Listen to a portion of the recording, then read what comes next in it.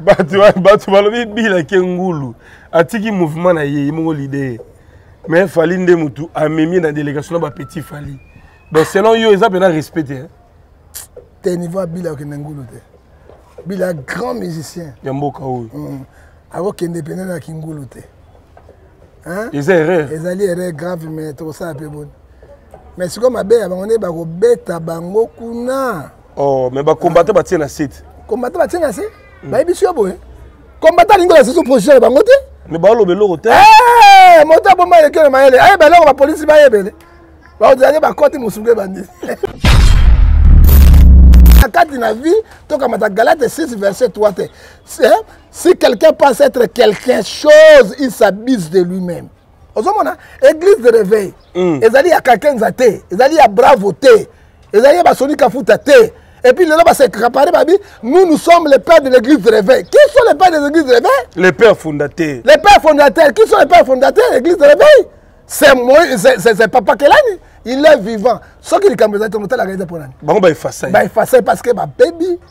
baza na esprit ya garement deuteronome 28 verset 28 ils n'ont pas dit aye moto akoyeba mongongo angelique lokola papa yemba aza te ah. moto akoyemba lokola tabule rochero aza te moto oyo akoki koyemba lisusu lokola fere gol aza te parce que ntango papa balobaki ngai nakokende mais koko moko akobima akoyemba makasi na tala likolo koko ngai atanga epi fere gola seneke normal biso tu tozodebrie oza mingongo kodebrie mingonga bantaba wana na baautochtone na nzoto ezalaki normal biso nous des débrouillards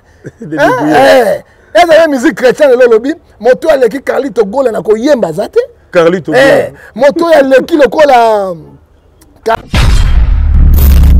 yango te so bakritike yo nakende nakende te oyo okritike atina ngai biye atina ngai prise en charge nakende bango bato ya mbongo fali nde amemi petit fali fali fali na orchestre ah moto ako yenga yenga kaka boye ti amemi ye alakisaka ebone volonté na ye yo oyebi kaka kokritike moto mais sala likambo soki obengisi ngai nakoya je suis là pour la population je suis là pour la république je suis là pour les valeurs nakoya nakosala baémission nakoteya nakosala makambo ekoki na yango mais petit fali akei poto ngefa akei te ezali bidon se papa oyo tobengi kesokelani pata ya misato ezali verno eh, adina bala bango nyonso wana bakakete bazalaki bachantre na babeti mbunda epai ya papa dina na bamutombo bango tout comment bango oza père église réveil mais le père de l'église réveil est là ntango crise ekoti na église réveil eloko liboso baluka nini mpo bakoma na justice tokende pa tata kelani kelani akata likambo bango basali yango te nyonso wana nini bazowela mpata 1 pierre 1 timothée chapitre 6 verset 10 lokola tokomi na élection bakomisa mbongo bino boreproche dodo kamba nous ne reprochons pas mais dodo kamba ntango soni azwaki eh, statut akutaki ya falsifie soni atunaki bango ndenge nini statut ezali falsifie ce n'est pas dodo kamba qui a fait ça donc modifié déjà modifié c'était euh, père le père mm. le pays est en guerre soki conscience ya biso bacongolais tosalaka hein? baza envahi biso bapays nyonso mitrophe wana qu'est-ce qu'on pourrait faire au blé tokokipa makambo miziki te tomona république démocratique du congo ezali mboka ya ngai na yo mm. ya bapapa ya bakoko na yo oyo ya biso to na mboka mosusu elemi mm. ce sont des distractions inutiles ah. il faut bon mato naza ndenge mais denis lesi le fait denis lesi azali égaré c'est vrai que normal de tourne 28 verset 28 il est égaré alors les œuvres de la chair sont manifestées galate 5 verset 19 hein impudicité idolâtrie les drinks les toko les jobistes les makikistes tout ça bakritère na bango ngai na biloko naza nango te sikoyo nakosa biloko ya ndenge wana mpona mais olobi nayaki na bango te moto ayaki na bango nani c'est pas kabila le père kabila mpe le fils aye na bango plein toki batemoignage na bango nalobi mboka kwa congo ata bokufa moto elengo kwa mwenge ya yao bazotuna oyo nani balobi yo chef d'état major général azali congolais bon chef d'état major général azali congolais comment congo akoma chef d'état major akoma ministre ya défense na rwanda bizi makara ya tobunga bango te na mino milai milai bo oa bizi makara se congolais kabila le père orga se rwandais tobengana bango wana bitumba ezalaki ya bango bakimi bakei cetadi quoi le pays est infiltré jusqu'à moi le piniere mais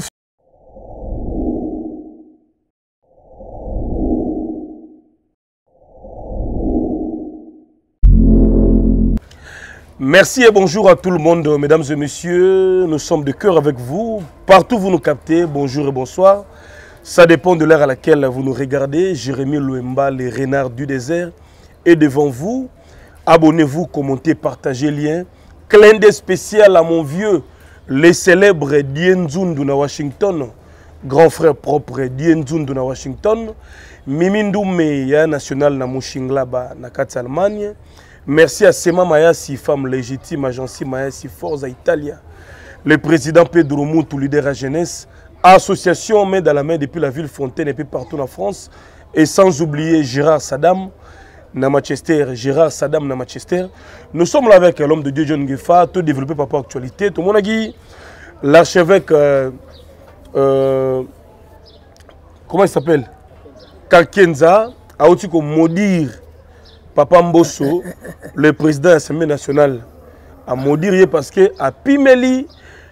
confession rc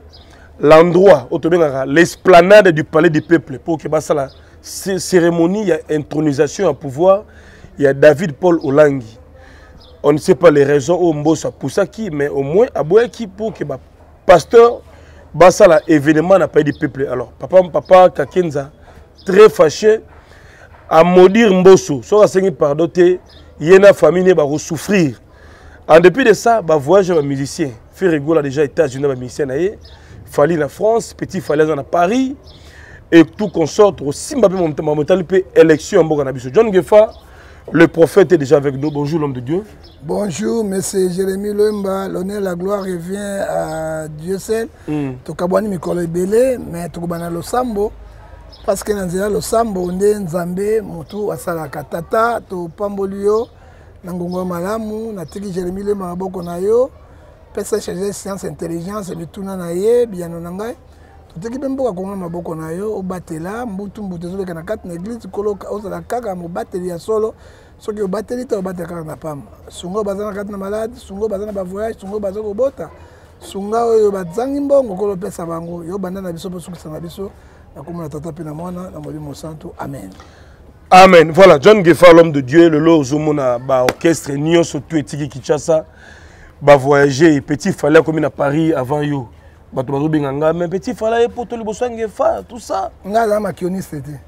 nasala misala ya bondoki te naza mpe na concurrence na moto te j'aime mon pays je fais mon travail soki ngonga na ngai okoma ekozala jérémie nakokende na bopete nasaka kokenasi na motu te bato bakokritike yo me likambo te so bakritike yo nakende akende te oyo kritike atina ngai bie atina ngai prise en charge nakende bango bato ya mbongo fali nde amemi petit fali fali fali na orchestre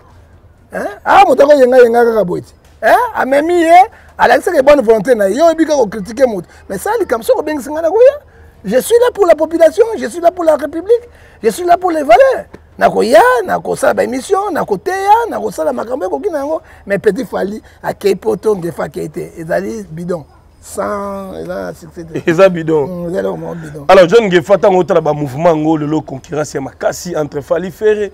fali akei na europe France précisément abeta yo Arena et puis obeta na Londres na Belgique. Faire que États-Unis, Canada et okende ba Brésil bazo mema ba bureau ba mema ba musiciens bon Congo ngo yo lobaka o oh, musique musique musique. Mais tant ozo mona makambo ngo zo lobelo. Papa, mm. le pays est en guerre. Soki conscience ya ba congolais to salaka. Hein? baza envahi biso bapays nyonso mitrophe wana qu'est-ce qu'on pourrait faire au bled tokokipa makambo miziki te tomona république démocratique du congo ezali mboka ya ngai na yo mm. ya bapapa ya bakoko na yo oyo ya biso to na mboka mosusu eyemi mm. ce sont des distractions inutiles ah. ils font se lettre ya basala misala na bango mais mpo yango mona distraction inutile totala congo avenir ya congo totala baélection qu'est-ce qu'il faut faire oh, fali akei na uralen oyo akei na états-unis okotuna ngai mpo naloba nini oh, mais oza congolais congolais nini naza moto ya fali te ni ya fere ni kua soki nayi moto afali to ya fere mbe batiaki na delegation nake lokola batiaki na delegation te naza kuna te kotunaka makambo ya nzambe no ya bango ngai adefendraka bavaleur eza te mpe moto asala nga ngai moto asala nga ya nzambe nzambe na courage ozomona fali nalobi eh, mongongo ni feti fali aza nango wana petit fali na biziki ni abetaka wana Mais courage ya petit fallait meme mikili. C'est ça, la vie est partie au courage. Je suis chapitre 1 verset 8 et 9. Hein? La vie soko na courage mon yango. Hein? C'est ça le problème. Kokopeka na fali tout cela te. Tango na ngai ekokoka Jérémie na kokende na bopete. Hein? Hein? Na kokende na bopete. Yo yo yo ovaje na kofi to ndeni. Ah, papa ngai ya ministre azambi na voyage na kofi eh, ministre de bamisie bazokumba batali eh, bango ngai naya kuna te bible elobi amos 3 3 bato yeba botanga bato bayokani te moi je défends la république je défends les valeurs okoya bino bajeremie naza kodéfendre lisusu église ya nzambe je n'ai rien à voir avec ça omoni kaka mapata oyo na hmm. poto eza kaka yango omoni kaka mvula oyo tokesani na poto biso toza na deux saison bango na quatre saison apart yango nyonso tomona eza ndenge moko te mais petit fali abiki amoni kuna bapata bleu rouge bamultifali autawe yasi fali autawe fali amona kisasa fali buba bwende kuna petit fali kuna bwende na kuna koleka mbala yango azauta me bamboka na bino bamboka na bino na esaneke normal ta apona kwa eloko moko asika est ce que na se mabele oyo ecclesia chapitre 1 verset 10 eloko asika eza eloko asikisa inondation eza na afrique na poto ezosala yango foudre ebetaka kuna ebetaka tokesani kaka na bango bana 4 saison biso na 2 saison il n'y a pas de spécial mopepe azopema oyo mosusu opema na yango où est la différence ezali euh, jacques chapitre 2 verset 9 ezali ki fanatisme avec ça n'a rien à voir alors concurrence ya musique quand même eyo esalako plaisir musique ezomata to ndepapa tuna ngai makambo ya nzambe otuna ngai bato bameli bangi wana otuna ngai ndenge ah, senga amelaka bangi otuna ngai makambo wana oh namelaka lotoko te namelaka bangi te soki otunanga makambo ya ndenge wana mpona nini hmm? tunanga makambo ya nzambe tunanga makambo ya république na korépondre yo ah, est ce que moto kwanga citoyen kongo nakokela miziki ya bango na kotipi na vandi ngai mpenza boye nazwi liboma to naza ndenge mais denis lesi le fait azali égaré c'est que normal de tout ma 28 il est égaré Alors les œuvres de la chair sont manifestées, Galates 5, verset 19. Hein? Impudicité, idolâtrie, les drinks, les tokos, les, les jobistes, les, les makikistes, tout ça, bah, bah, critères, bah, nga na biloko naza nango te sikoyo nakosala biloko ndenge wana mpona mais olobaka kozala ya pasteur ya papa wemba donc oza attaché na bamusicien john papa wemba il priait chez moi hmm? c'est moi son père spirituel ntango papa wemba azoya comme musicien te comme nini mondimi nyonso papa wemba abandaki kovanda na ban bato nyonso bavandi je prêche la bonne nouvelle il chantait pour dieu tosuki wana e soki ya na problème nakozali na deux chronique 2020 confie vous à l'internet votre defu sera fermi confie vous à ce prophète vous ressurez bato otangeli ngai bango nyonso moto moko akokaki na papa wemba na sagesse azalaki te na savoir faire aza te wana bakoko ya bakoko ya bapapa wemba ndenge tozali awa ti mokili ekokufa kaka na congo moto akoyeba mongongo angelique lokola papa yemba aza te ah. moto akoyemba lokola tabule rochero aza te moto oyo akoki koyemba lisusu lokola fere gol aza te parce que ntango papa balobaki ngai nakokende me koko moko akobima akoyemba makasi na tala likolo koko ngai atangai fere gola ce n'est que normal biso tu tozodebrie ka mingongo kodebrie mingongo ya bantaba wana eh, eh, eh, na baautochtone na nzoto ce n'est que normal biso nous sommes des débrouillards. Des débrouillards. Eh, eh. eza ye musique chrétien lelo olobi moto oyo aleki carlito gola na koyemba aza te carlito eh, moto oyo aleki lokola carlito mosusu ana kisi te nini moïse matuta aza te un grand chanteur de talent moïse matuta na pas de fétiche ah ah ozomona oyo mosusu abanda koyemba wana nzembo mokolo na gogo deningo ne mongonga ntaba hein ok nayebi miziki mingonga ntaba oyo nani wana abaka aza na sirene aza eza likabo bapesaka na bato ozomona biloko mosusu jérémie balese yango pa eh, courage oye par courage courage nde esalaka mais pene bovandi borien okoyeba un bon musicien bolongoli bainstrument eloko moko ayemba solo micro hein? Hein? lokola uh, muketonga il se chante aussi lacoste eh, lacoste se chante hein? atika oyo kaka boye toboyi bototumbi totyana na nzoto mpo ebanda kala me oyoka yango oyebi jour mosusu nake pa fere gola abengi nga papa kobenir nga nazalaki na baremi tovandi atie concert na ye azolanda azolanda mais ndenge fere azoloba boye ndenge ezobima na miziki ya kuna hmm. epuis motu moko misi moko apale koyemba wana fere azosekanga bi o oh, lider azosekani alobi Ah, bino bokoyeba te me agafe grave akomi ata kokoma te me ngai nazoka yango danger na matoi na ngai me il faut yeba eloko baforsaka nature te eloko forsaka nature sukasuka ekoma na kati bakonzi mibale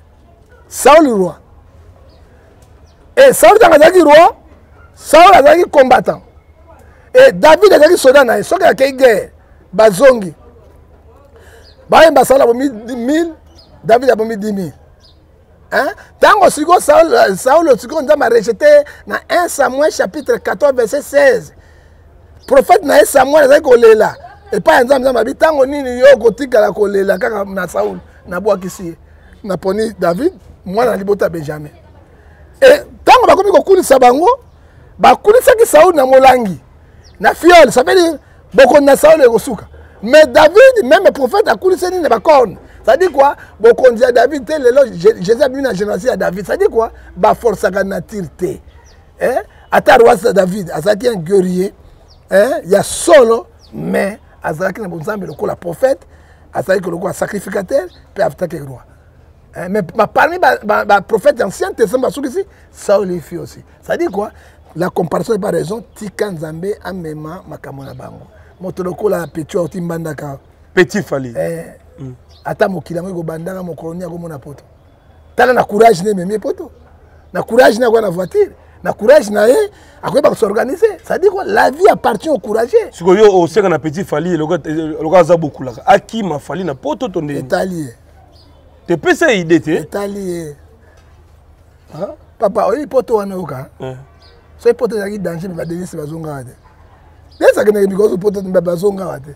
soki poto ezalaki danger me bakengo wadolo bazongaka te bato mpe bazongaka te poto ezalaki kokemba oyo ya solosolo ah. eh, nazoyebisa yo jérémie kokemba ya solosolo na europe eh, ya kokemba na états-unis d'amérique misala basala kuna yo kosala yango te jérémi eh? omona mpena okenda ya centre ya bavieillard bamama ya mikolo wana basa ba 95 ans solo tu matungulu bapola aosala mpenza kaka boye mpe soki oya kofinga o noire abwakela osoyi azwi mpenza farata abeni farata babeto na nzoto yo kolikoka awa moto azwa farata mais moi je te dis les choses qui sont réelles misali basalaka natangola basecret bato baza na ngai bazobisa basecret tala azosala boyeboyeboye epuis basi mais na bibasi mais mibali misala asalaka nini hein poto epesami na moto nyonso mais sikoyo ozobule mike alamba amemo na poto to ndenge nini ozobule kofi nzambe ayebi papa na na ntina kofi te na na ntina motu te le seul dieu qui connaît ozomona passeport eza déjà ah, jérémi na ngai na voyagaka ti ozomona ngani yo ozomona ngani na moto ya moke ya mboko oyo toza 10 mama moko zita moko père na biso avivant mama na biso avivante wit bana na suite pota solo te ya switzerland c'est allemagne bapaster de la fo baoki bapoto etali bango ya bapaster de la fo ngai nakoteka fumangani na ngai te mpo na poto oh, bakotonga ngai nsima kuna nakomeka te papa na mobimba na mpenza mobimba mobimba omeka te eh. oyebi soki oyo bapasoli kotana ekomi nini ekomi nini impuissance sexuelle mopepe ekomi okote sino obebi ti ngai na ya mobimba jeremi oyo bakei poto mingi oyo babenga mokweki atiaga asala boyomoni mawa oyo tu ezo dede na misapa bato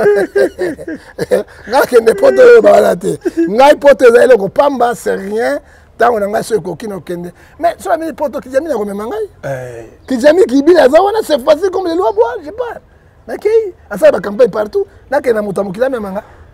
nakokende na sanse ngulu mpo ngai misisiete ngulu nakende ngulu ntaba be na kali batala biso Ah,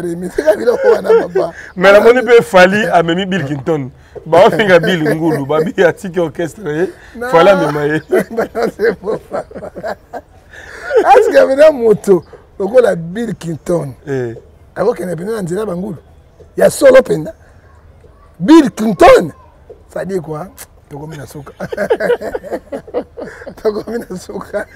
papa kota ata tika conflit yanga mokili mobimba te papa bikoso mosusu ere naza motu nakozala conflit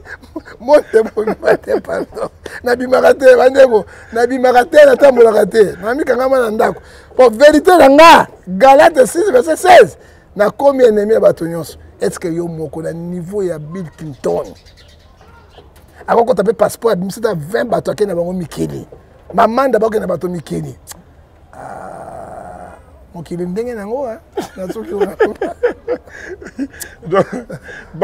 bato balobi bilake ngulu atiki mouvement na ye ye moko lidee mais fali nde motu amemi na délégation na bapetit fali donc selon yo eza mpena respect te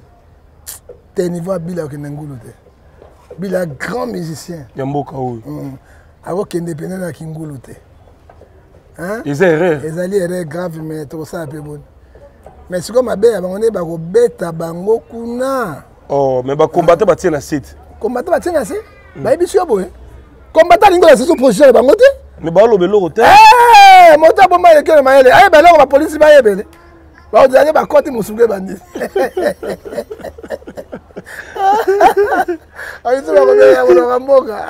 mais sikoyo délégation mpe bachroniqueur ebele oyo badefendaka fali baokende déjà eh, sikoyo ozomona température yango climat yango mpena banzala eza na poto bacrise eh, batension eza kuna baréalité hmm, eza ebele baterrorisme eza poto wana lota mbongo bapesa bango te hmm. ah. poto c'est difficile moto mosusu otuni ye mbongo 100 dollars na poto mpo azwa yango ekomi budget faut de la fin du mois hein 50 dollars il faut la fin du mois mais so moto aoka bino na poto seka lingaka alingaka mingi ya na bamoyen asalaka papa hmm. hein awa ya na bakope ebele okosala mpo ozwi mbongo hein kobanga te jérémie 2024 euh, tokosala tourne europe mpe états-unis amen je crois mon dieu na deja na bacontact oyo ezali Mm. Eh, ngai moni alingaka poto te poto tuni wana azwaka bato bayaka geba tokende eh, bato tuya na poto tokende eh, bakokata ngai mpiko na lopumo nakende ya tre eteni nakokende na voi nzambe très bien mpo nabanga poto poto eloko te papa l'homme de dieu merci beaucoup alors tomonaki mpe euh, cérémonie bauti koconsacre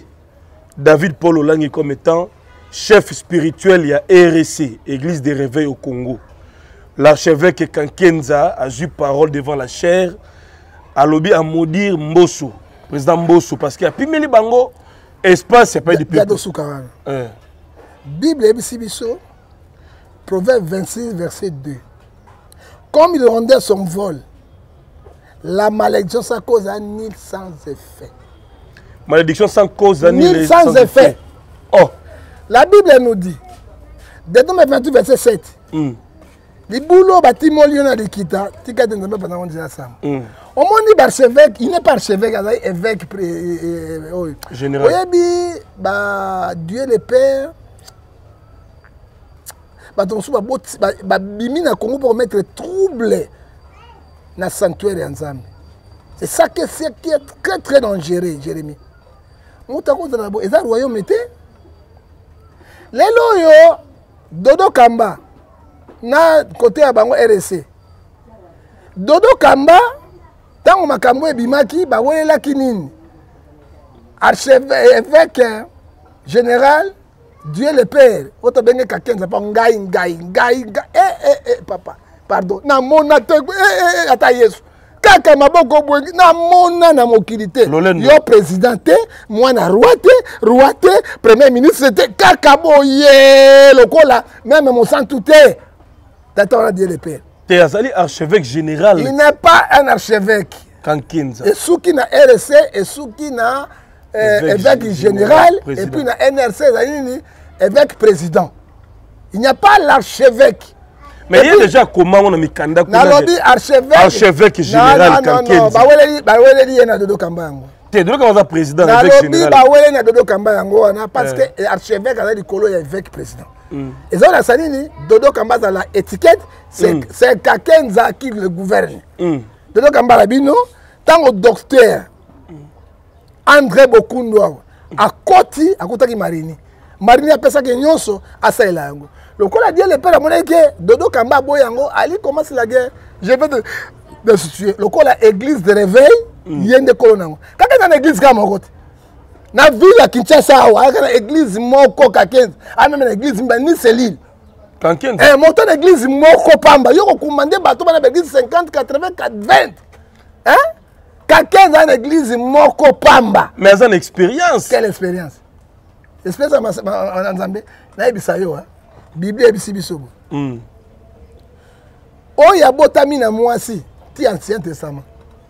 oyo mwasi amelisi libele abombe na libumu moko te azali monene lokola jean baptiste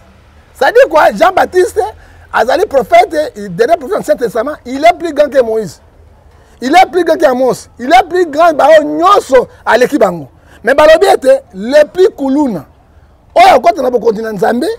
aza monene koleka jean baptiste sadi kua na kati na vie tokamata galate 6 verset 3 te si quelqu'un pense être quelqu'un chose il s'abuse de lui-même ozomona église de réveil mm. ezali ya kakenza te ezali ya bravo te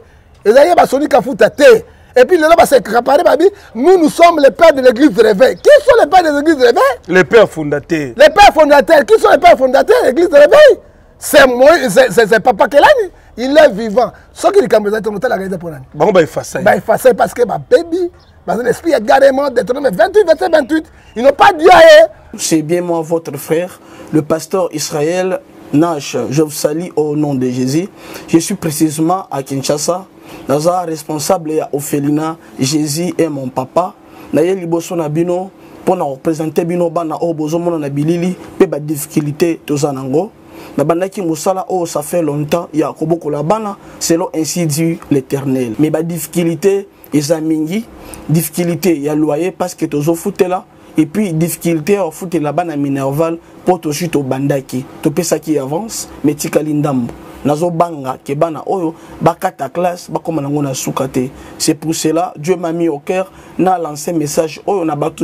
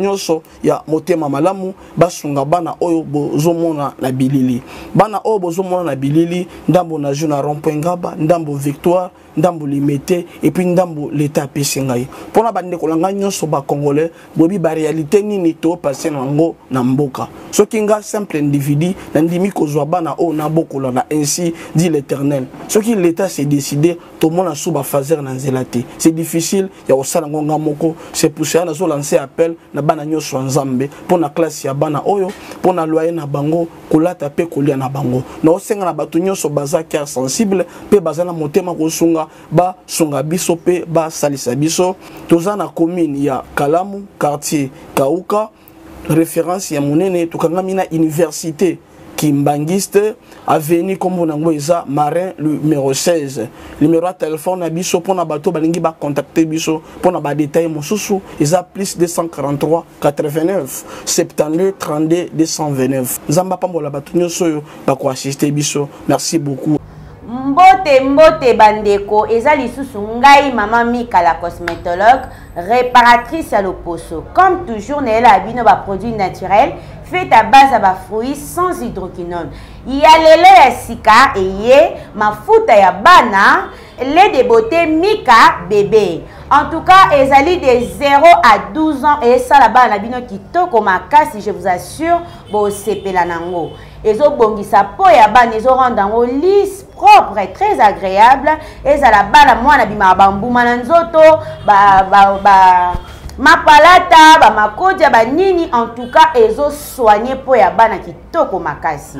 mama mika amemeli bino lisusu bandeko pomade na biso vimbovi pomade oyo ezali pomade raffermissante mpo na mabele basin epuis bassin na bamole en tout cas ezovimbisa makasi bandeko bosala bacommande bopase bacommande na bino bokosepela na yango makasi nzoto yaya papa mama tobongisa yango kaka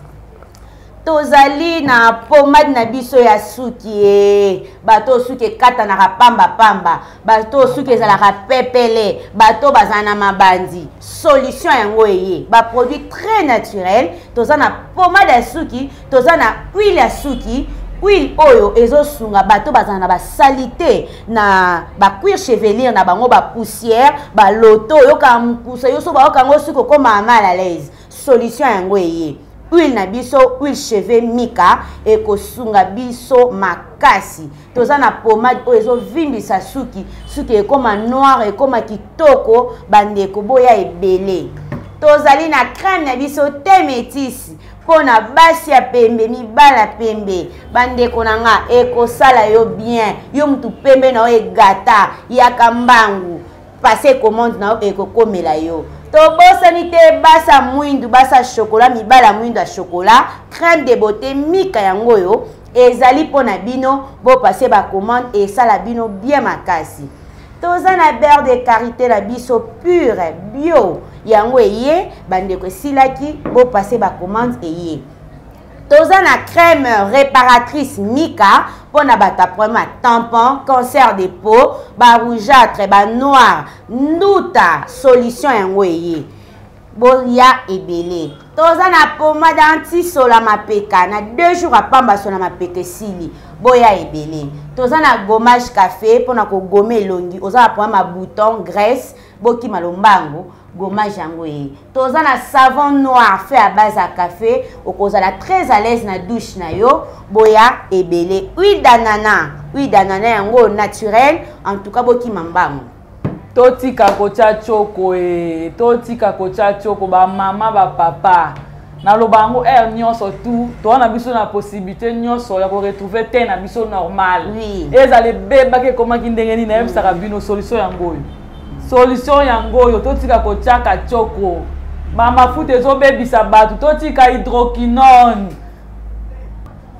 Numero plus 243 89 98 27 674. Notre adresse, commune à Kalamu, quartier Matonge, avenue Pozo numéro A17, référence cabine à courant. Eh, c'est papa oyo tobengi kelani pata ya misato ezali verno eh, adi na bala bango nyonso wana bakakete bazalaki bachantre na babeti mbunda epai ya papa dina na bamutombo bango tu koma bakozwa pere église réveil mais le père de l'église d'éveil est là ntango crise ekoti na église d'éveil eloko liboso baluka nini mpo bakoma na justice tokende pa tata kelani kelani akata likambo bango basali yango te nyonso wana nini bazowela mpata 1 pierre 1 timothée chapitre 6 verset 10 lokola tokomi na élection bakomisa mbongo bino boreproche dodo kamba nous ne reprochons pas mais dodo kamba ntango soni azwaki eh, statut akutaki ya falsifie toni atunaki bango ndenge nini stati ezali falsifie ce n'est pas dodo kamba qui a fait ça donc modifié déjà modifié c'était le père déjà le père tranquille eh na bravo hein ba falsifie yango déjà soni alobi ntango akotaki na sali audit te pourquoi basali soni audit te fallait basali soni audit rien nani nakomi pa dodo kamba baodite epa dodo kamba incapacité na ortoire bango baotongi susu stade tondi donc soni asalaka kakenza odite te asala odite te malgré 18 ans malgré 18 ans rien alingaki kimia kimia ezala alingaki ayebaki tangela ngai hôpital moko église de fer eza nango na ville ya kinaata ekole eza voilà tangela ngai ata deux hectare oyo église de fer eza nango mais leta apesatangela ngai apesaka subvention mbongo ebele tangela ngai baekole combien tangela nga batindi bato na formation combien libungu tulu bango nyonso wana ozomona bazosala bazosala romain 16 verset 17 à 18 bazosala libumu na bango ino pas bien alors ntango lelo moninga amoni boye bozo akize ngai nayebi eloko moko te nateki mpe na manda na ngai inane eh, eh, six mois ça fait aosala 2025 atindi likambo na tribunal ntango akosi likambo na tribunal ministre akomi ministre ya justice justice ah, bosala manifestation te nini eloko te toyoka justice ekata likambo parce que la justice est indépendance soki tokoma article 12 ya kongo abi tout congolais soki eko devant la loi lelo na mwasi nyonso boyokani te famille eyokani te bokendeki wapi justice ekata likambo nano justice toboyi nde bainfluence ya nini oyo bosalaka yango donc dossier yango eza niveau ya justice justice ko yango ndenge nini président mboso akoki koautorize gouvernement ya bango ministre ya justice abike bosala likambo wana te par force bino bosanga na palais du peuple ezali nini violation ya loi mais basala yango na cfmc base cfmc parce que ah, mboso aboyaki na yango botango mboso aboyi mpasi na komi na justice ndenge nini yo mosali na nzambe dieu le père meneur de trouble toujours kakez avec bravo ezali brave ezali kiri monene baza na bango wana bazwa église de l'éveil en otage moi je, je, je père pourquoi david de langue si mois eza ebele et une année eza ebele badie le père on va le destituer akobanda mpe ye parce que jusqu'alors dodo akosala te 2025 nsima tika mais bauti déjà koconsacre david baconsacre ye procédure eza na justice ya justice moto kokata yango yo omoniki ete bino boyei lopango bakati likambo oyo ezalaki illégal bokei na cour ya mosusu ya monene kuru azongisi mokolo lopango omoni yango te c'est justice qui va retranche parce que zano dodo kamba akotia na 2025 te akoza mpe candidat te atiki dai lobi nakoyebi soki dodo kamba na conférence de presse akoloba tout et haut esika nde bazopanzana solo yango wana tadi kua baza motema moto moto moto bautilize bato te Hein? Église, il faut nous soyons les imitateurs de Christ. C'est que dit la Bible, Philippiens chapitre 3, verset 17 à 19, c'est que nous faisons là, euh, maintenant. J'étais avec Djamina ce matin. Alobi, le corps de Christ est touché.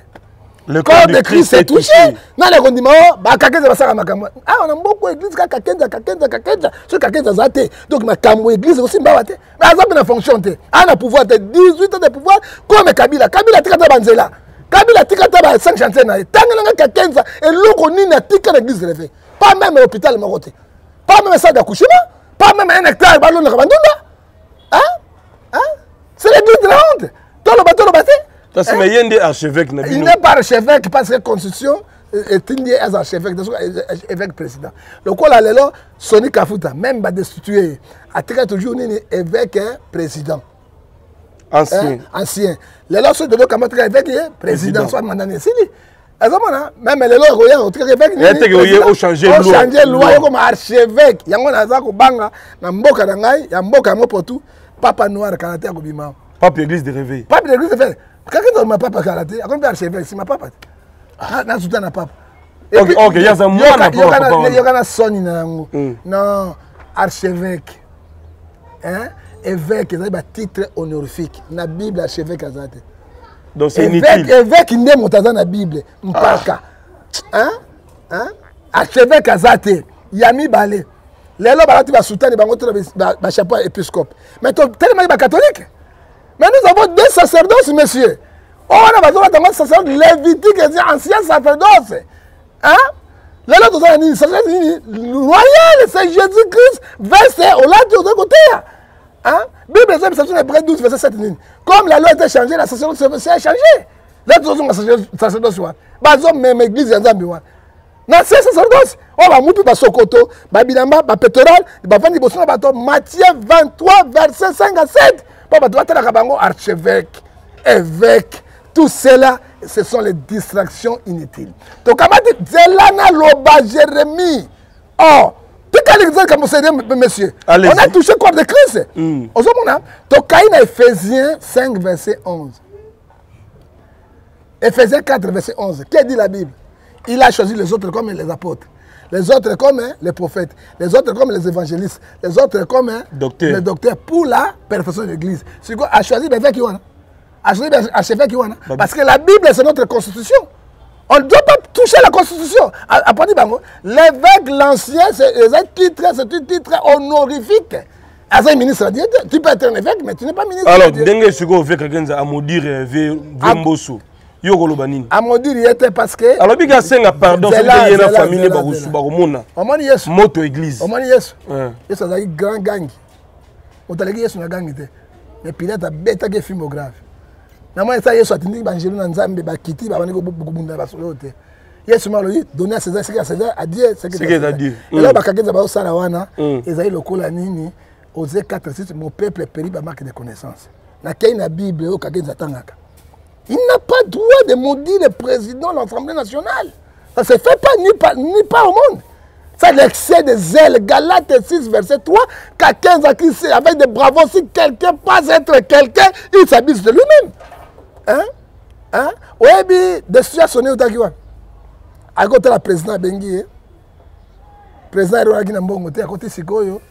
azongi ya promettre son ase kofa de fleche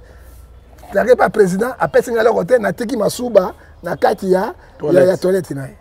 présence ayoki babi non ça ce n'est pas bon monsieur atambusa lingomba ale bautilisaka babravo baka 15 destruction ya soni à cause na maloba maloba ya biso il faut ebénir eluka problème te alors que dit la bible 1 corinthiens chapitre 6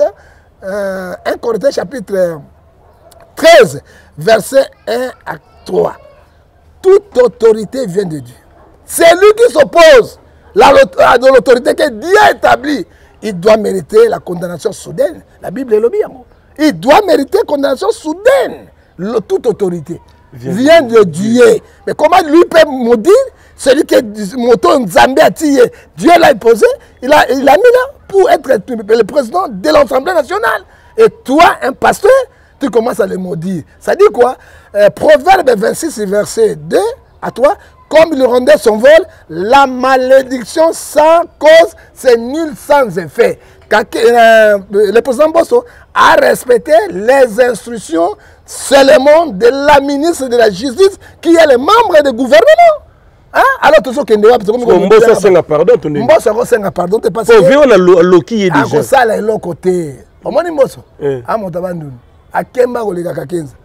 mota na mboso atalasaka bata bandundu mota na mboso mota na mboso akokaki te akosengele pardon nani eh? au contraire ye kaka ezapeli susu moto na kati ya gouvernement bakosoutenir nini président na bango ensemble hein? atie so église leve na kaka parce que jusqu'alors président oui baconstate oyo mais totika justice étranger namoni bapasteur to ya congo ya minene bakendaki na présidence bake kutana conseiller ya faci bake kofunda dodo kamba baiji baya mapia bamokuna bango bakendaka kofunda dodo kamba sai nini bazela justice meme bake kofunda kati ya dodo kamba balobi na biso awa ete justice nde eza indépendant na article euh, 220 et aucun pouvoir na kati ya bango ya partage ya pouvoir ekopesa injonction article 151 na justice lelo dodo kamba afundi na justice me bake na présidence meme nini justice ezali indépendant nde ekopesa nini verdict na yango esili alors très bien merci beaucoup l'homme de dieu mpona éclairage éclaircissement par rapport à ce dossier tomonaki en tout cas investiture ya david paul olangi esalamaki au sein de l'église si fem si na limete 17e rue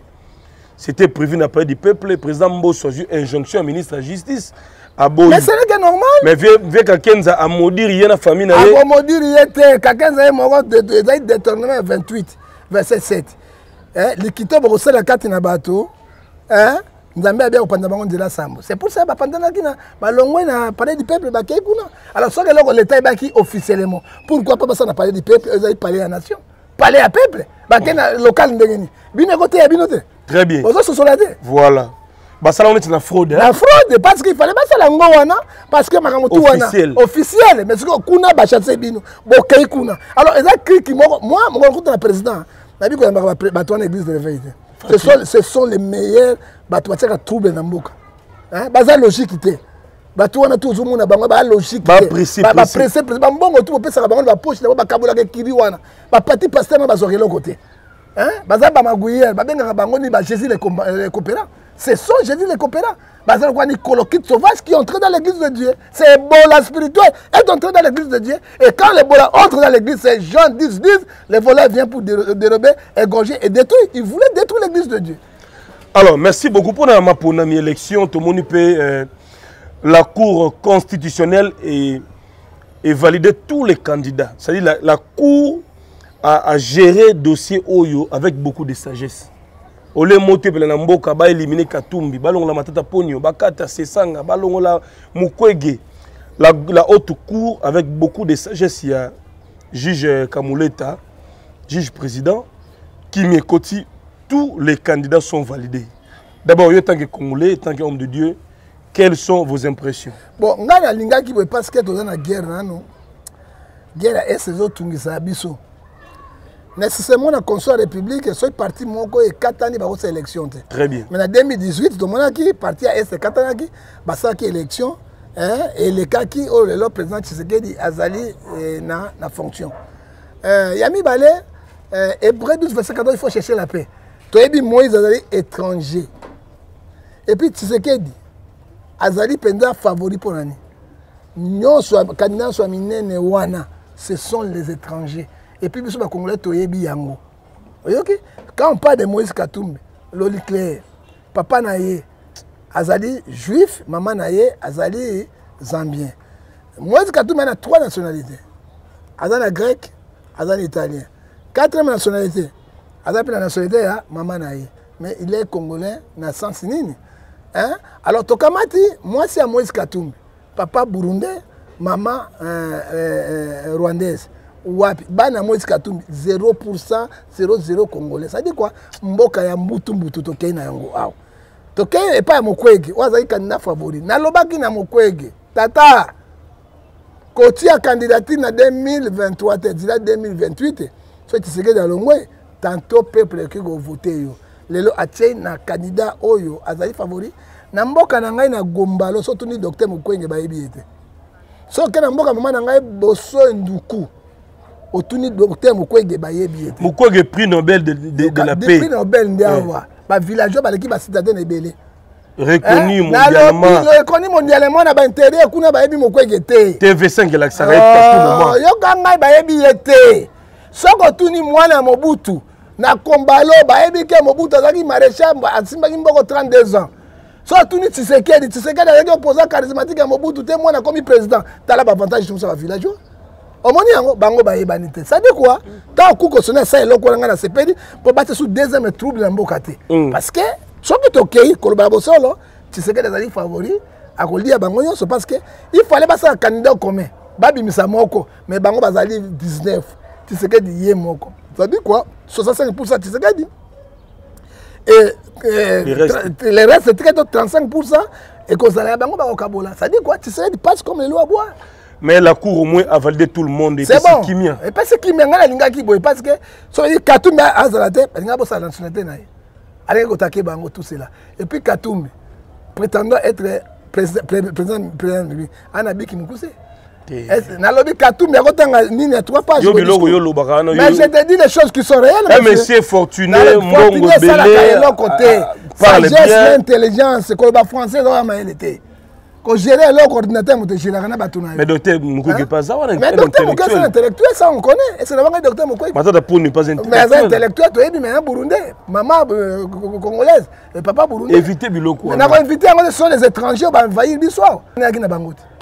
hein moto ayaki na bango nani c'est pas kabila le père kabila pe le fils aye na bango plein hein toki ba témoignage na bango ba nalobi mboka kwa Congo ata bokufa hein moto elengo kwa mwenga yao bazotuna oyo nani balobi yo chef d'état major général azali congolais bon chef d'état major général azali congolais comment akoma chef d'état major akoma ministre ya défense na rwanda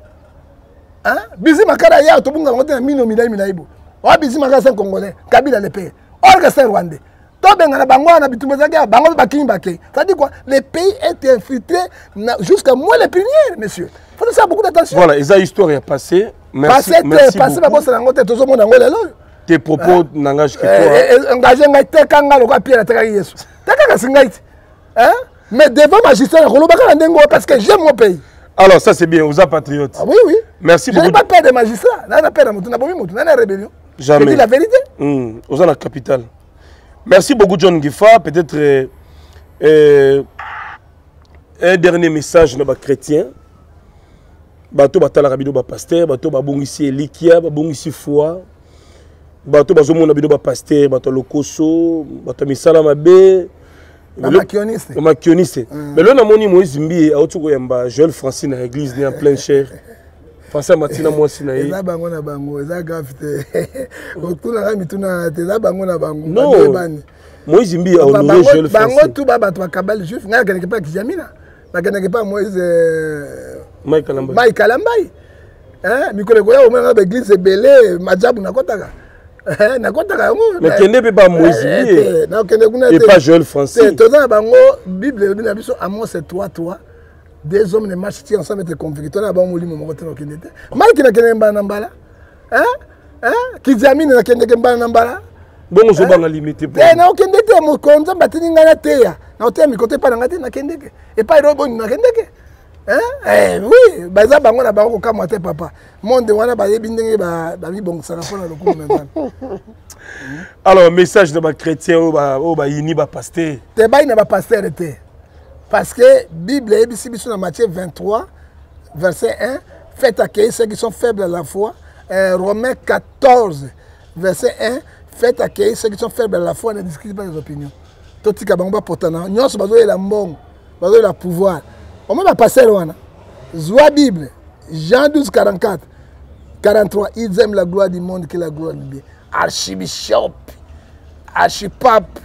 eh, évêque général tala mapeka or que na kati ce sont les pourritures Ah. Que Dieu bénisse le Congo.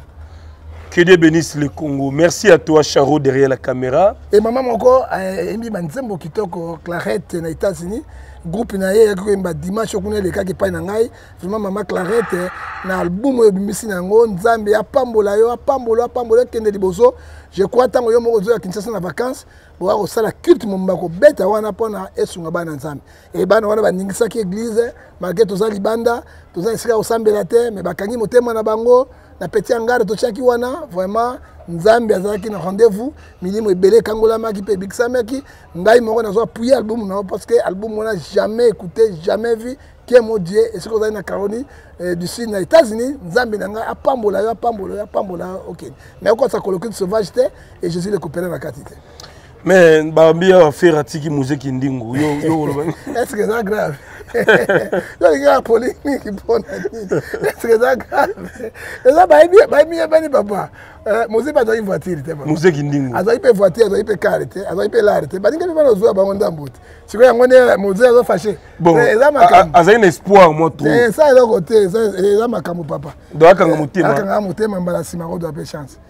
mais musique eza monde ya 12 hein? eh, 12 grave mais il faut oza mpe na patience moze azwi déjà mituka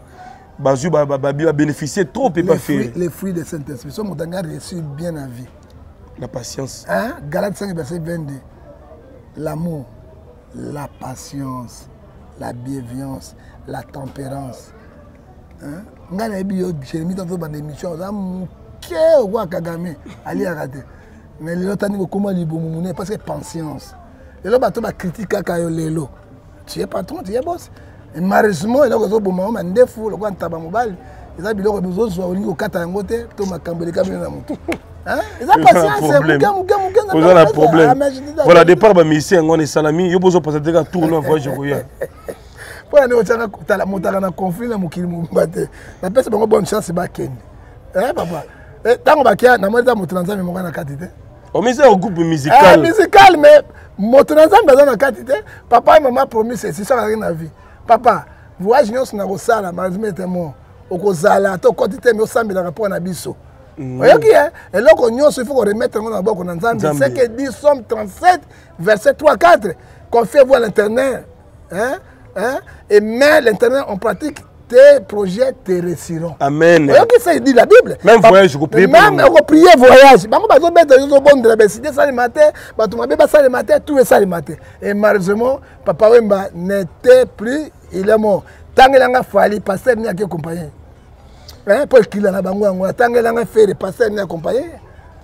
ntango yango bakende bapasa kapayaka ye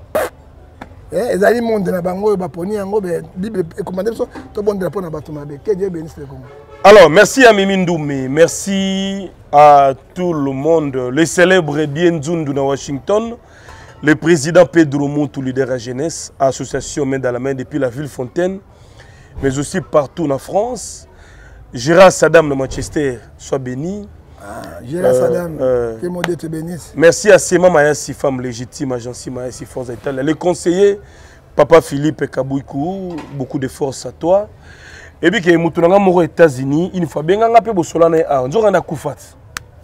hmm? kisi kindoki na boston eh, soki akufa akufa nayeba te bana états-unis bobombelanga secret na boston ke kisi kindoki akufa bauti koenterre depuis deux mois yo sikoyo obelaka moto akufa nakobimela kuna te nazo regrete nde parce que ntango akufaki azalaki vie na biso bato ya boston babengaki ngai te moto moko ya europe ya belgique vie na ngai moko justin akufa babi euh, gorge ndire cancer ebetaki ye ando olinga nvenge efa trop ndenge nive na nga nge efa abengaka nga mingi ba zero heure kisi kindoki personnel soki olingi moto esi akufi oba mabe na ye te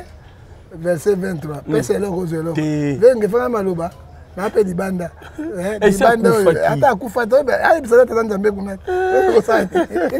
mokili eboyi ngai oyo naza libanda mbula yango nazosambela te ayebi tata tata nzambe asimba mitema oyebi bakongolais mitema mabe balobi yo deja okumisaka bangobila okumisaka bapouvoir en place ozolela église ndenge nini ngai nakumisaka moto okumisaka bato nakumisaka bato cokolilo banzembo osalasala batumba yango wana wana etumbo nzambe azopesa nayebisa eloko moko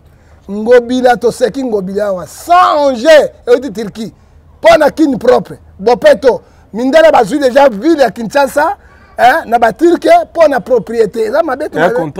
contrat est ce que bangungi ekosila ngungi ekosila dona dona bapesi bamoko na 100 je ekomi yana nakoloba te baje nini batracteur batracteur oyo ebendaka bapusièreyebisangobilayebisa ngobila moto omonaka ngobila yebisa ngobila basoma biloko banti emeti eyei baturki babiloko ndako soki eziki mpo yeyana gombe wana gouvernement ce n'est pas ngobila ah.